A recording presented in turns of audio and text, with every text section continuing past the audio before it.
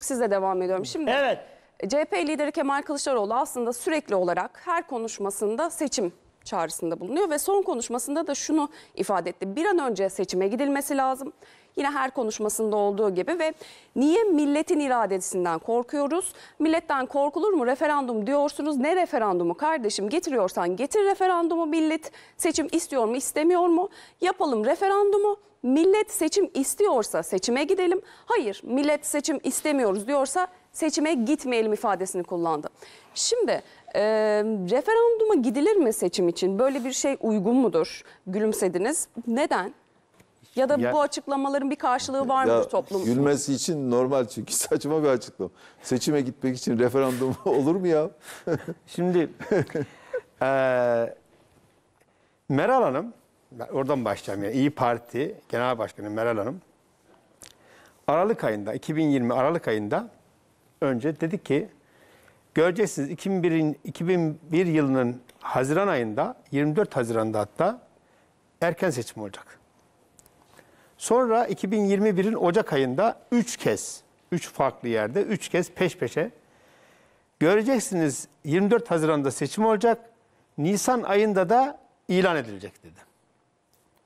Bakın bunları kendisi söyledi.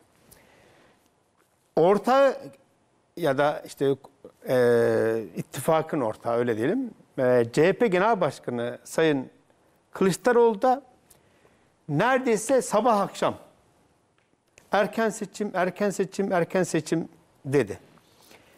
Ama en son Meral Hanım'ın geldiği nokta şuydu. Bir yayında, canlı yayında sordular. Efendim dediler, siz Millet İttifakı olarak hani nasıl bir aday göstereceksiniz, seçimde nasıl bir taktik uygulayacaksınız? Meral Hanım şöyle dedi, seçime daha çok var. Biz proje bazlı bir e, şeyiz, ittifakız. Seçime daha çok var. Bunlar benim ifadelerim değil. Yeni Meral söyle- Hanım, Yeni söyleyeceğim. Tabii tabii Meral Hanım, Meral Akşener dedi ki Haziran'da seçim olacak diyen Meral Hanım Haziran gelmeden Nisan ayında yani seçimin ilan edileceği günlerde onun tabiriyle çıktığı bir canlı yayında bizim ittifakımız proje bazlı bir ittifak. Dolayısıyla seçime de çok var. Seçim bir gelsin, seçime yaklaşalım. O zaman biz nasıl davranacağımızı, nasıl bir proje geliştireceğimizi milletimize paylaşırız. Bu burada dursun. Dediğim gibi Sayın Kılıçdaroğlu da sabah akşam erken seçim. Bakın biraz önceki bölümde Millet İttifakı ve paydaşları diye bir ifade kullandım. Millet İttifakı ve paydaşları. Paydaşlarından iki tanesi de yani AK Parti'den oy çalmak üzerine kurulan iki parti. İfade de bana ait değil. Bu da bir gazeteci arkadaşımıza Gürkan Hacır'a ait bir ifade. AK Parti'den oy çalmak üzerine kurulan iki parti için Meral Hanım'ın şöyle bir tabiri vardı. İlk kurulurlarken onlar. Biz bir şekilde o oy alıyoruz. CHP de oy alıyor. Fakat muhafazakar kesimde öyle bir kesim var ki oraya Erdoğan, Sayın Erdoğan öyle bir bariyer koymuş ki oradan oy alma şansımız olmuyor. İşte bu iki liderin kurduğu parti, eski AK Partili e, kişinin kurduğu partiler o muhafazakar kesimden de oy alır. Şimdi ama o iki parti ve Millet İttifakı'nın diğer paydaşlarını beraber tutabilmek için, konsolide edebilmek için yarın erken seçim geliyor. Erken seçime hazır olalım. Bakın arkadaşlar erken seçim geliyor. HDP aman ha bir dakika sen orada dur. Biz ancak senin oylarınla iktidar devirebiliriz diyerek konsolide etmek amacıyla kullanılıyor. En son en son biliyorsunuz Sayın Kılıçdaroğlu Cumhurbaşkanı Erdoğan'a söyletelim laf yetiştirmek için. Çünkü Erdoğan dedi ki biz anayasa çalışması yapıyoruz. İttifak ortağımız MHP deklare etti 100 madde olarak. Bize de sundu. Biz de hazırlığımızı yapıyoruz. Biz de sunacağız. Tartışacağız. Gelin hep beraber konuşalım. Hatta örnek ver çok güzeldi orası. HSK seçimlerinde yani HSK üyelerinin 7, 7 üyenin meclis tarafından seçilecek 7 üye ile ilgili mecliste bir e, konsensüs oluşmuştu biliyorsunuz. E, Cumhur İttifakı ile Millet İttifakı birlikte oturdular, anlaştılar.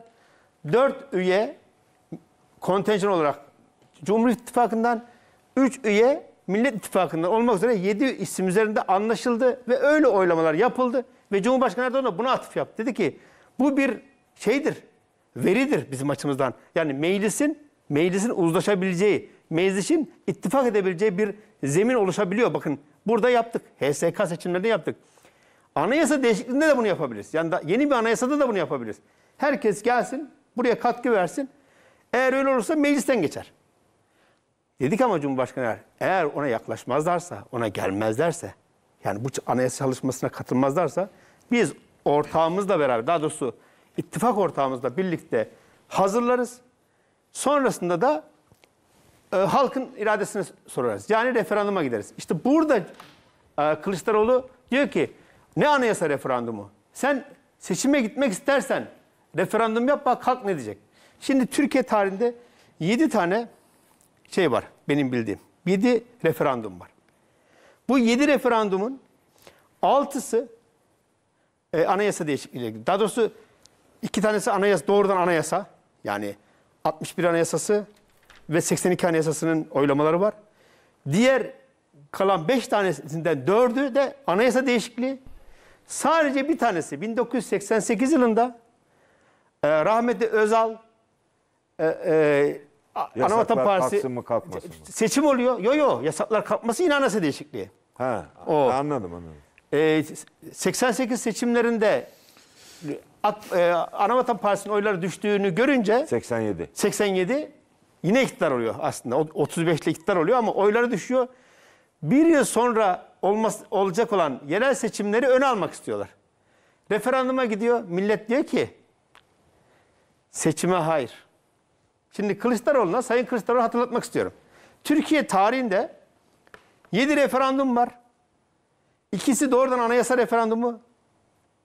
Diğer dört tanesi anayasadaki değişiklikler referandumu. Bir tanesi seçimler öne alınsın mı diye yapılan bir referandum. Erken seçim referandumu. Anayasayı değiştirerek Evet.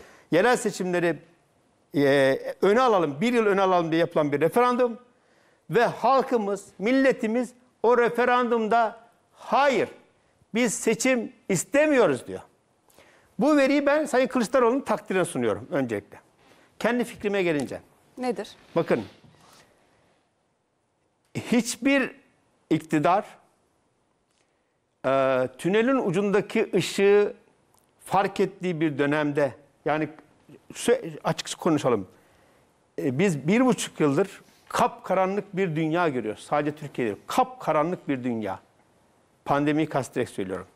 Bütün sektörler etkilemiş. Bazı sektörler avantaja dönüştürmüş ayrı bir şey ama çoğunlukla orta alt gelir grubu ve alt gelir grubunu perişan eden, dünya ölçeğinde perişan eden bir pandemiyle karşı karşıya dünya.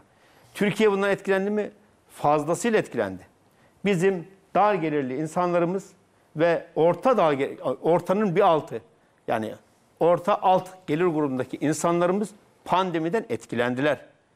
Bu etkilenmenin aza indirilmesi, düze çıkılması için seçim mi yapmak lazım yoksa sektörleri destekleyerek bu pandemiden kurtulmak mı lazım? Tünelin ucunu görüyoruz. Biraz önce ilk bölümde söyledim. Yani sonbaharla birlikte rahatlama olacak. Ben de şunu söylüyorum. Şimdi bir Seçime enerji harcayarak, Heh, bunu soracaksın. hayır, seçime enerji harcayarak, seçim gündemine meşgul olarak, seçim ekonomisi yüzünden ekonomi bir daha altısı olsun mu isteriz? Yoksa hala arkasında halk desteği olan seçim işte daha yeni üçüncü yılına girdiler. Yerli ve yabancı yatırımcıya da bu bir Zaten Sayın Kılıçdaroğlu e, nedense e, kendi göğsüne vurmayı bırakın yani bacağına sıkmayı demiyorum. Kendi göğsüne vurmayı e, çok e, başarıyor. Neyi kastediyorum? Türkiye güvenilir bir ülke değil. Niye gelsin ki yatırımcı? Ya bu söylenir mi?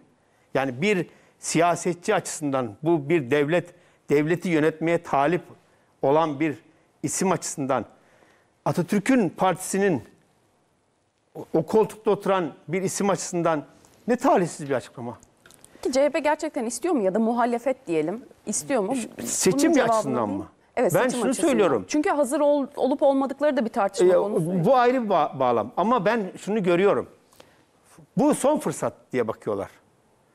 Ee, eğer 2021'in sonbaharı ile itibariyle pandemi dünyada etkisini kaybetti. Türkiye'de kaybedince ekonomi çarkları çok daha hızlı dönmeye başlayınca Türkiye'nin e, sıçrama yaptığı, ekonomik olarak sıçrama yaptığı, o dar gelirlerin rahatladığı bir ortamda seçime gitmek hiçbir şekilde işlerine gelmez. Dolayısıyla Biden'ın desteğini almış Millet İttifakı, e, Türkiye'deki bir takım sektörlerde yaşanan sıkıntıyı fırsata çevirmek isteyen, oya devşirmeye çalışan e, e, Millet İttifakı e, seçime zorluyor ve fakat enteresandır seçime hiçbir şekilde e, kendi güçleri yetmiyor. Yani bunun kararını alacak Cumhurbaşkanı Erdoğan'dır. Bunun kararını alacak Cumhur İttifakı'dır. Cumhur İttifakı ne dedi? İşte çarşamba günkü grup toplantısında Cumhurbaşkanı Erdoğan avucunuzu yalarsınız seçim 2023 e, Haziran ayında dedi. E, Bir taraf sürekli ısrarcı oluyor, bir tarafta sürekli kesin ve net açıklama yapıyor. Sayın Bayrakçı siz de devam edeceğim. Şimdi CHP lideri Kemal Kılıçdaroğlu sürekli olarak bunu dile getiriyor. Muhalefet kanadından bu e, geliyor ama son millet seçim istiyorsa seçime gidelim, işte referanduma gidelim. Millet gerçekten seçim istiyor mu? E, ya da referanduma gidilse nasıl bir sonuç çıkar sizce kamuoyu araştırmasında? Kamuoyu ne der? Referandumu şey açısından mı soruyorsun? Seçim açısından. E, Seçim olsun mu olmasın mı referandum? Evet. Kılıçdaroğlu, CHP lideri Kemal Kılıçdaroğlu referanduma gidelim. E, Bakalım ne diyecekler. Eğer halk seçime gidelim diyorsa gidelim diyor. Yani Anlıyorum, evet. bunu biraz da halka bırakalım diyor. Gidilse araştırmalar neticesinde siz de kamuoyu araştırmacısınız. Ne der kamuoyu? Türkiye ne der? ya da böyle bir şey Seçime, mümkün. e, gidelim sonucu çıksa bile bu seçim sonucunu gösteren bir sonuç olmaz. Yani şunu demek istiyorum. Şimdi diyelim böyle bir referandum yapıldı. Yüzde 52 buçuk seçime gidelim dedi.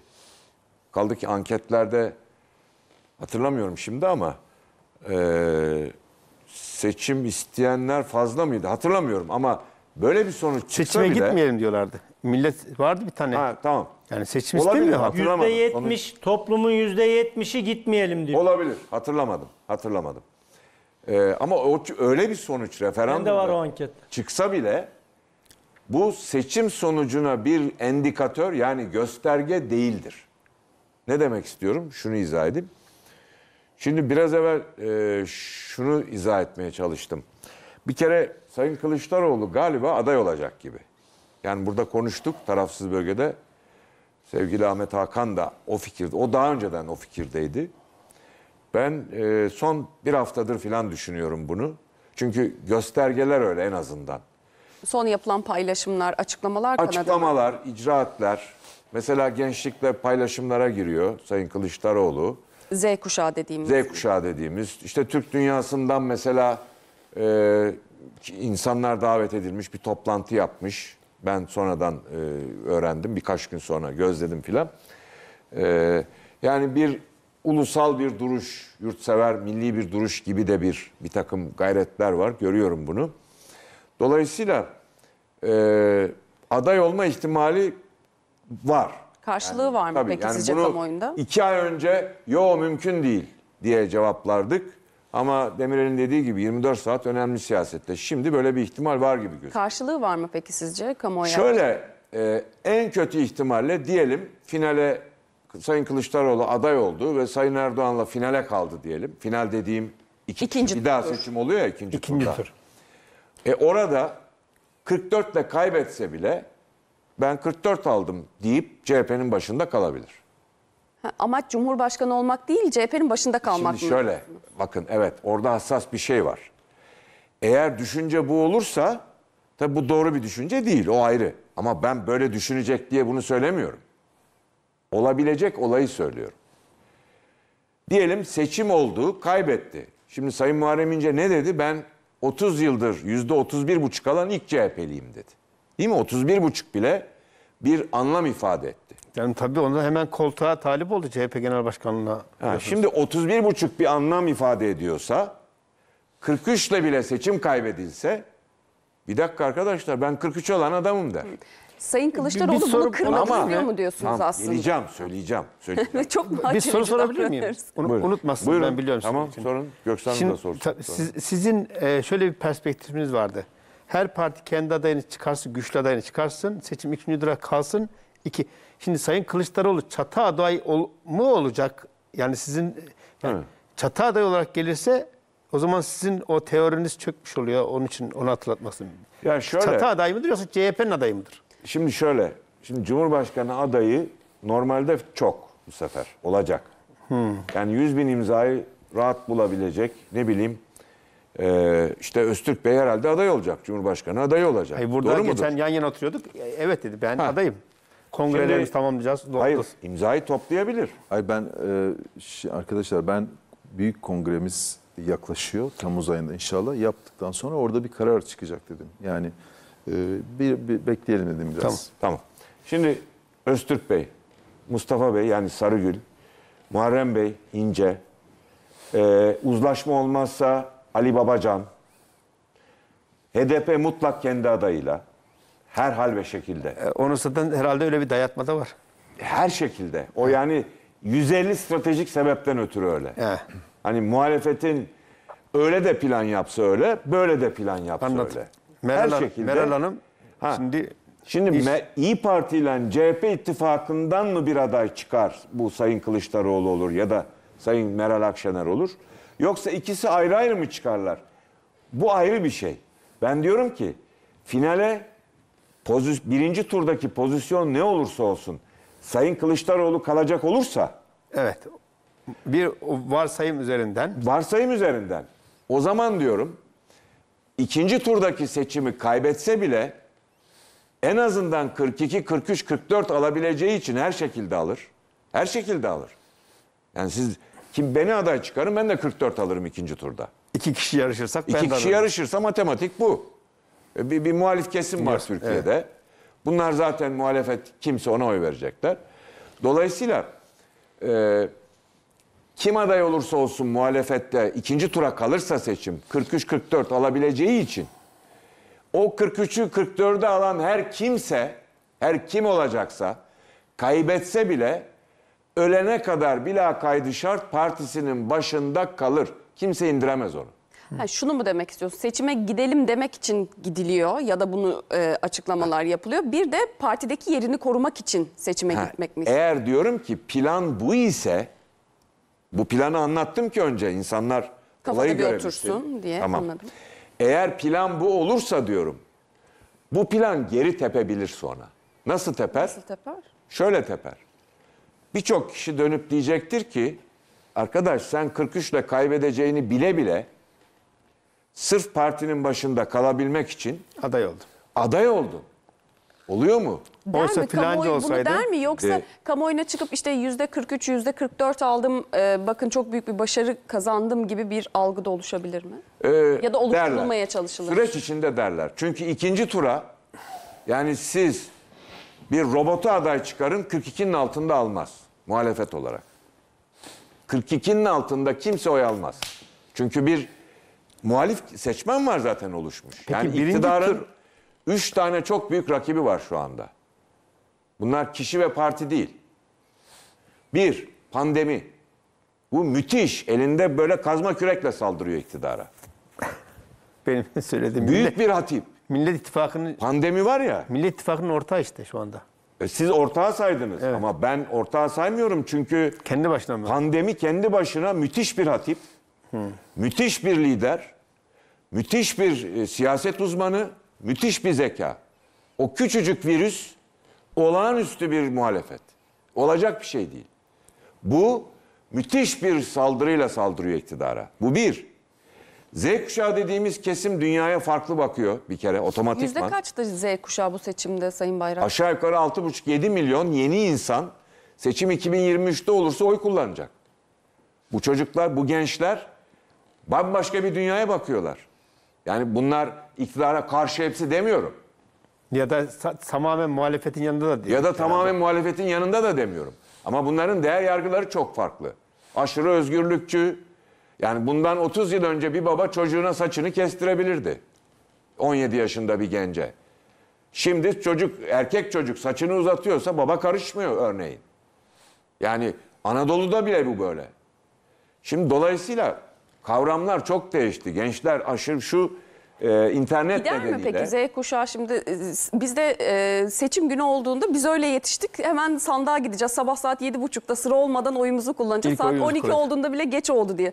Z kuşağında böyle bir algı var mı? Var var. Ee, siyasetle çok ilgilenmiyorlar ama yani ilgilerinin yüzde dördünü işgal ediyor. Günlük e, meşgalelerinin yüzde üçü veya dördü bile zor siyasetle ilgili. O da yemek yerken haberlerden izlediği kadarıyla ya da e, kullandığı sosyal medya aracındaki paylaşımlar aracılığıyla. Ama o azıcık ilgiyle bile bambaşka bir gözlükle bakıyorlar. Siyasete de dünyaya da. Açıkçası birçok konuda da bizden ilerideler.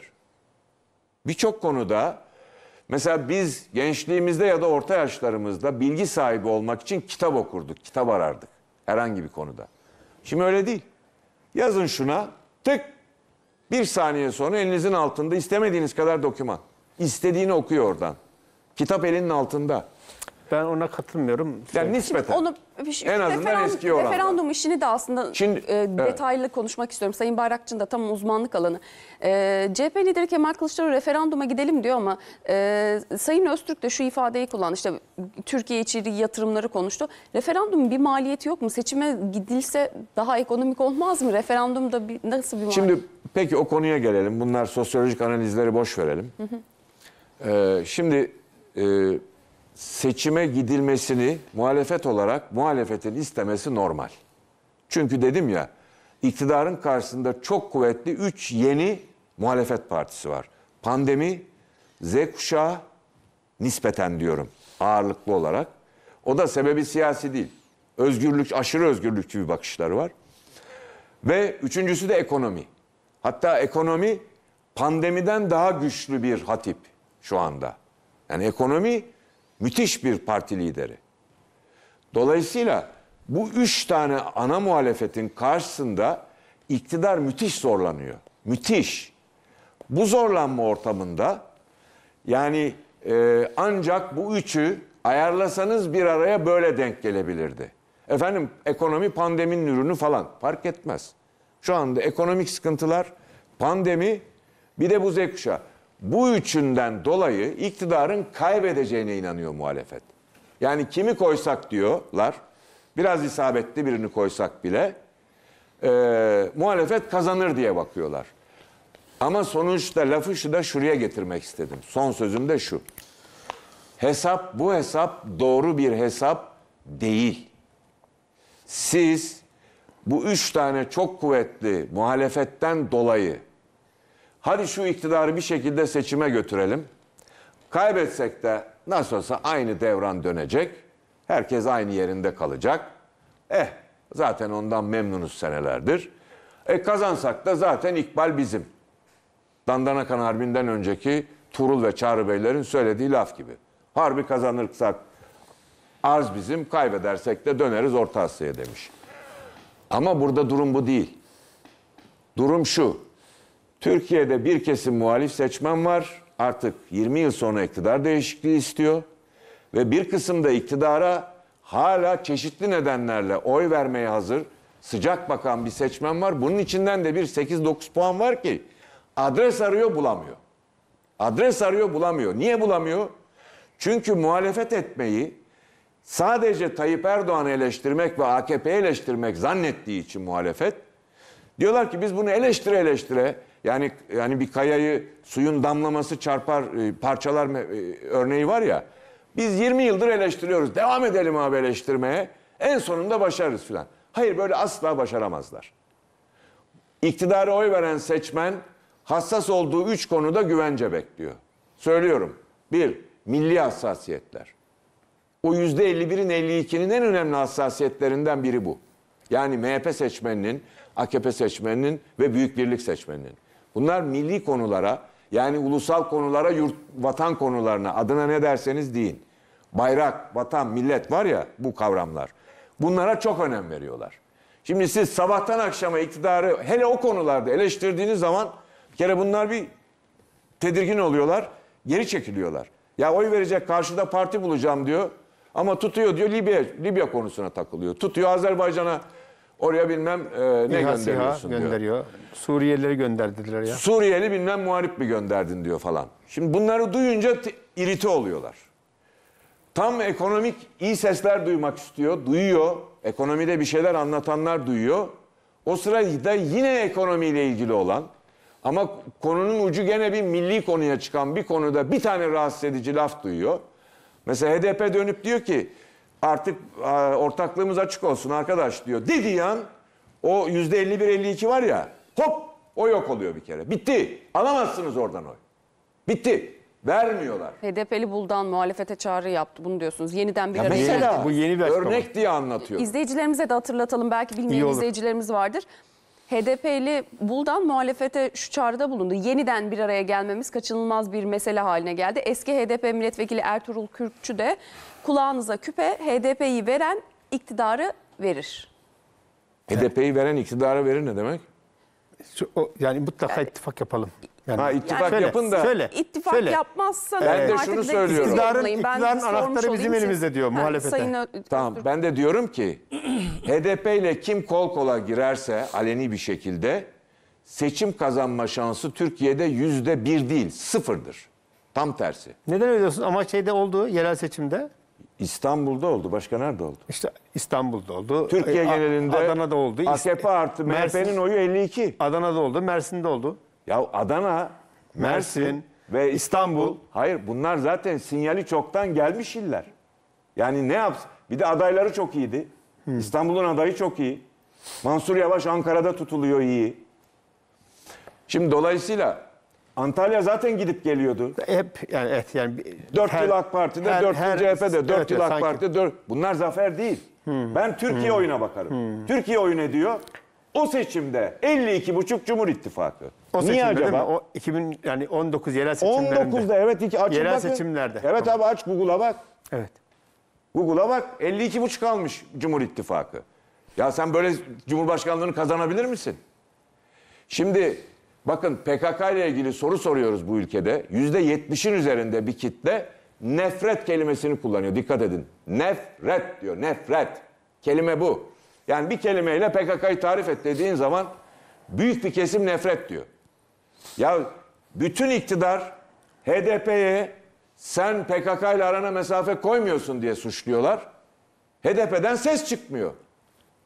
E ne- oluyor bu? Bir HDP'den? ay böyle. HDP'den ses çıkmıyor. İktidar diyor ki HDP'ye sen PKK ile yok berabersin diyor. Değil mi? Evet. HDP diyecek ki ben terör hayır diyecek falan değil mi? Bunu bekliyor Evet, insanlar. Mesela evet. duysa belki oy verecek oraya Kürt vatandaşımız var. Evet. Hayır. HDP buna ses çıkarmıyor. Ben PKK ile kol kolayım mesajını sürdürüyor. E bunu siz sürdürürken ya bu ülkede ya çok basit bir şey ya buna üstün IQ da gerekmez. Siz bu ülkede hedef yüzde yetmiş küsurun nefret ettiği bir e, terör örgütüne karşı e, ilişkisini inkar etmeyen bir parti olduğu zaman yani sessiz kalıyor, sesini çıkarmıyor. E, kilit de benim diyor. Nerede kilitsin ya? Kilit tam tersi sen şu kilitsin. Bulunduğun yere kaybettirirsin. Bak senelerdir Şimdi kaybettin. Kısa bir reklam arasına gideceğim. Sonuçta Ardından lafımı bağlayayım ama peki dönüşte reklam. Ee, Sayın Kılıçdaroğlu'nun adaylığı ile ilgili demiştik. Tekrar özet bir cümleyle, bir, bir iki cümleyle bağlayayım. Bir kere hazırlıklar aday olacak gibi gözüküyor ve de gerçekten de bu arada olumlu hareketler yapıyor. Yani gözlemim o. Ee, adaylığında da ilgi de görebilir. Birçok kişinin adaylığını da e, hakikaten sürklase edebilir. Bunları söyleyelim. Fakat aday olup 43-44 ile kaybederse hani ben dedim ya nasıl 43 aldım CHP'nin her halükarda sonuna kadar CHP'nin başında kalırım. Kaybetsem de yani kazançlıyım, ka- kazansam da kazançlıyım. Fakat bu sonra başına şöyle bir iş açabilir Sayın Kılıçdaroğlu'nun. Açıkça derler ki diğer muhalifler, başka muhalifler. Yani dostlarım diye tanım, tan- tanımladıkları da çok yakınları da derler ki efendim siz başkasının 50-51 alabileceğini bildiğiniz kişiler olabileceğini rağmen bunu yapmadınız. Sırf 43 ile 44 ile kaybetsem de kalırım diye düşünerek Kendiniz aday oldunuz. Ben kamuoyunda e, Kamuoyu da böyle olur mu algılar. dedim ama siz parti içi de çatlaklar olur. Parti içinde de olur, seçmen de bunu böyle düşünür. Çünkü ben şunu çok duydum. Bir seçim kişi alabileceğinden fazla alıyor. E ben aldım diyor. Peki. Ama sonra 3 ay geçmiyor. 3 ay sonra diyorlar ki ya arkadaş sen evet yüksek aldın da senden çok daha yüksek alabilecek birini bile bile aday yapmadın. Peki sen nasıl muhalifsin derler adama. İktidarı değiştirmek istemiyor muydun?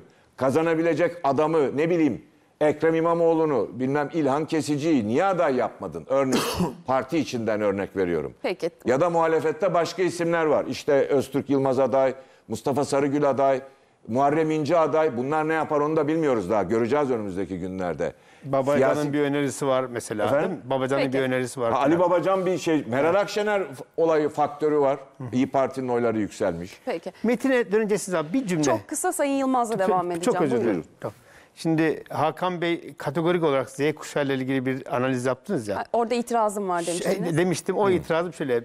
Ee, Mustafa Şen AK Parti ARGE Başkanı, Eğitim Başka- e, Başkanı. Ee, geçen bizim yayınımızda söyledi, başka televizyonlarda da söyledi. Onun ifadesini aynen okumak istiyorum. Diyor ki Mustafa Şen, X, Y, Z kuşaklarının analizini yaptım.